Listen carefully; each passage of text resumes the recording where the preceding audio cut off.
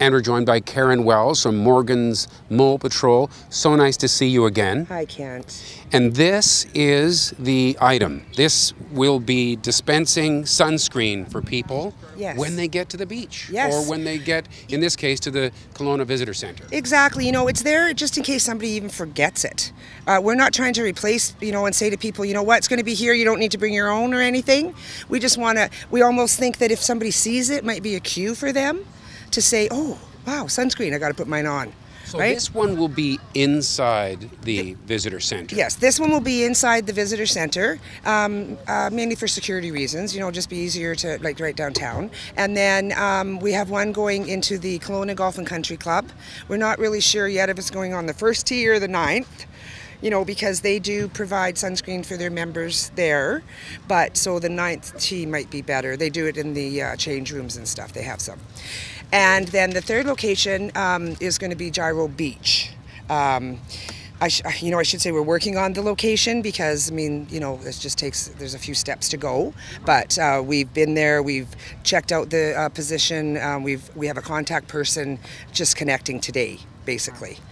So I guess there's some concern about security. One of the reasons you like it inside the visitor center, but at Gyro Beach, you're going to sort of try to attach it to a uh, some sort of uh, We have a banding um, system that, that can be used, and it'll be secured to the lamp standard there, right by the Big Apple. You know, when you walk walk right into Gyro Beach, so it'll be right front and center for people that are using the beach there, and um, you know, easy, easily accessible. So let's hope it lasts there. I guess this is a pilot project. You'll see how it goes. Yes, this is a pilot project that we're starting with Save Your Skin Foundation. They're uh, another uh, foundation that we've partnered with.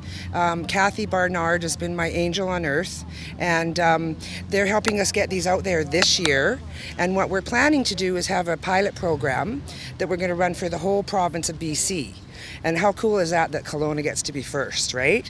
So we're going to uh, go to the cities um, next spring, or even you know towards the fall, winter, before they do their budgets, of course, and just uh, approach them and say, you know, how about putting one or two out on your beaches in your your city, your municipality? So it does two things. One, it pro- actually provides sunscreen to somebody right when they might need it, but it also sends the message. That's right. It also is a cue. You know, it makes it's it's all about bringing awareness, and um, eventually we would like to see like I've seen them down in um, Ontario, and they have like a big sign on them. It's got all kinds of warnings about you know use it every 20 minutes. Um, seek shade as well. You know, you shouldn't rely on sunscreen 100%, and um, we're just trying to provide that. Um, just one more thing that might make it easier for somebody not to get a sunburn, right?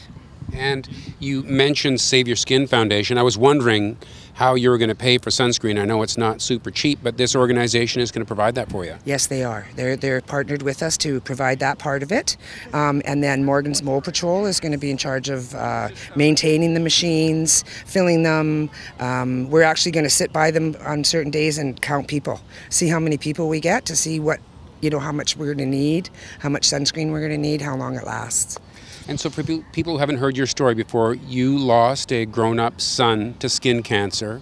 And obviously, this has a, been um, you know, a terrible experience for you. But with all of that grief, you've channeled it into this. I have. I've channeled in. This is my boy here, and he's helping people. You know, we're helping people get uh, to be more aware of melanoma, um, to be aware of the dangers of the sun, and to play safe in the sun because we all need it.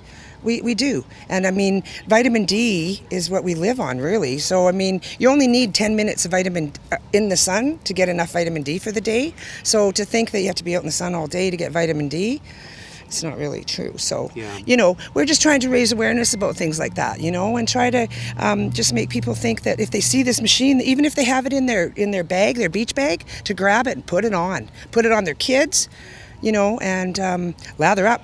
Yeah. Yeah. Karen Wells, thanks very much for telling us about it. Thank you again, Kent. And it all starts August 1st. August 1st.